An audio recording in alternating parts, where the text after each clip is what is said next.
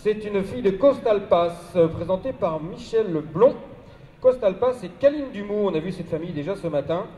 La mère est par Lights Out et c'est la souche de Ola Zuru Dumou, très bon vainqueur à Hauteuil à deux reprises, souche de Gwynns et Gamin Dumou, donc elle porte le numéro 54, une fille du jeune étalon Coastal Pass qui nous a présenté ses premiers trois ans cette année en piste, avec la victoire notamment de Bosseur sur l'hippodrome de Clairefontaine.